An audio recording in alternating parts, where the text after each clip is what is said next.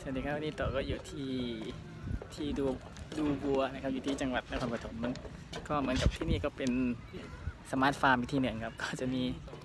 มีร้านกาแฟมีบัวมีสวนมีที่พักผ่อนนะครับ อันนี้บรรยากาศดีมากเลย มีร้านกาแฟมีเทนนินมีดูบัว แล้วก็มีโซนห้องน้ำมีการจัดโซนให้พักผ่อนมีขี่จักรยานบริการนะครับเหมือนกับเป็นการ การพัฒนาระบบเกษตรอินทรีย์นะครับอ่า ดีมากเลยนะครับใครมีโอกาสมาก็มาที่นี่ได้วันนี้ง่วงมากเลย เหนื่อยครับเหนื่อยวันนี้เหนื่อยจริงๆแล้วไปเจอกัน